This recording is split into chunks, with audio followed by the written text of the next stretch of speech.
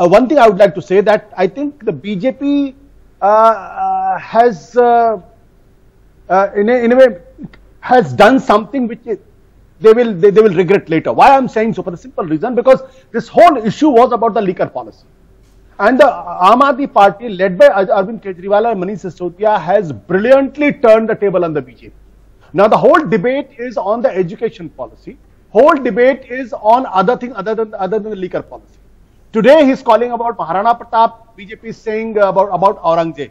Now anybody who knows little bit of political uh, uh, the political propaganda understand that if the if the Aam Aadmi party is pinned on the liquor policy consistently and persistently, then probably they will achieve their targets.